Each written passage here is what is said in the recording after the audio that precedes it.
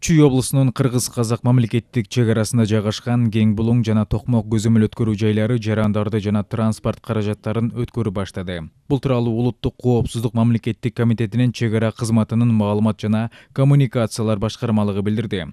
Маалыматка ылайык кыргыз казак мамлекеттик чек ара аймагындагы өткөрүү жайларында абал туруктуу чек ара кызматы өткөрүү жайларынын иштөө тартиби кырдаалга жараша өзгөрүп турушу мүмкүн экендигин эскертет.